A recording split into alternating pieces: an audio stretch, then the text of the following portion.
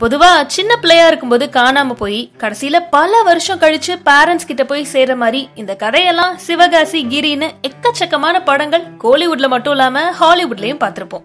ஆனா ஏழு வயசுல கடத்தப்பட்ட ஒரு பொண்ணு ஒன்பது வருஷம் கழிச்சு இப்ப திரும்பவும் அவங்க குடும்பத்துக்கிட்ட வந்து சேர்ந்திருக்க ஒரு சம்பவம் உண்மையாவே நடந்திருக்குங்க. இத கேக்குறப்போ பயங்கர ஷாக்கிங்கா இருந்தாலும் இந்த பொண்ணு காணாம போனப்போ ஃபேஸ் பண்ண கொடுமையெல்லாம் கேட்டா நமக்கே லைட்டா கண்ணு கலங்கிரும். சரி என்ன நடந்தது? இதெல்லாம் எப்படி நடந்ததுன்னு கேட்டிங்கன்னா இந்த சம்பவம் நடந்திருக்குது மும்பையில் மும்பையில் ஜுஹு கலின்ற ஏரியாவில் ரெண்டாயிரத்தி பதிமூணாவது வருஷம் ஜனவரி இருபத்தி ரெண்டாம் தேதி. ஏழு வயசான பூஜா கவுடுன்ற பொண்ணு ஸ்கூலுக்கு போறப்போ ஸ்கூலுக்கு வெளியவே வச்சு கடத்தப்பட்டிருக்காங்க. ஐஸ்கிரீம் வாங்கி தரேன்னு சொல்லி குழந்தை இல்லாத ஹாரி டிசோசா சோனி டிசோசான்ற ரெண்டு பேரு இந்த பொண்ணை கடத்திட்டு போயிருக்காங்க. அடுத்ததா இந்த பொண்ணை கோவாக்கு கூட்டிட்டு போயிருக்காங்க.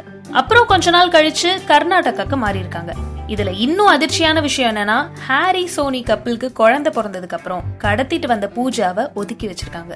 இதுல இன்னொரு ஷாக்கிங்கான விஷயம் என்னன்னா கர்நாடகால இருக்கப்போ பூஜாவை கொஞ்ச நாள் ஸ்கூல்ல படிக்க வச்சிருக்காங்க. ஆனா அவங்களுக்கு குழந்தை பிறந்ததும் பூஜாவோட படிப்பை ஸ்டாப் பண்ணிட்டு வீட்டு வேலை செய்ய வச்சிருக்காங்க. இந்த நிலைமையில ஒரு நாள் பூஜாவோட சேர்த்து குடும்பமா மும்பைக்கு திரும்ப வந்தவங்க பூஜாவை வீட்டு வேலை செய்ய வச்சது மட்டும் இல்லாம அடிச்சும் கொடுமைப்படுத்திருக்காங்க அது மட்டும் இல்லாம வெளியவும் வீட்டு வேலை செய்ய அனுப்பியிருக்காங்க. ஆனா பூஜாக்கு தன்னோட வீட்டுக்கு பக்கத்திலே இருந்தும் கூட வீட்டுக்கு போக வழி தெரியல.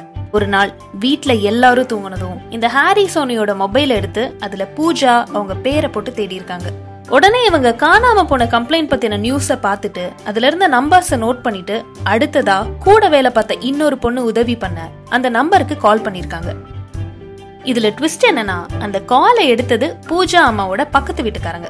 உடனே பூஜா அம்மா கிட்ட போனை கொடுத்து பேச வைக்க அடுத்ததா போலீஸ் ஸ்டேஷன்ல போய் கம்ப்ளைண்ட் பண்ணி பூஜாவை கண்டுபிடிச்சிருக்காங்க. அப்புறம் ஹாரி டிசோசாவையும் சோனி டிசோசாவையும் போலீஸ் அரெஸ்ட் பண்ணி அவங்க இப்போ ஜெயிலுக்குள்ள கம்பி எண்ணிட்டு இருக்காங்க.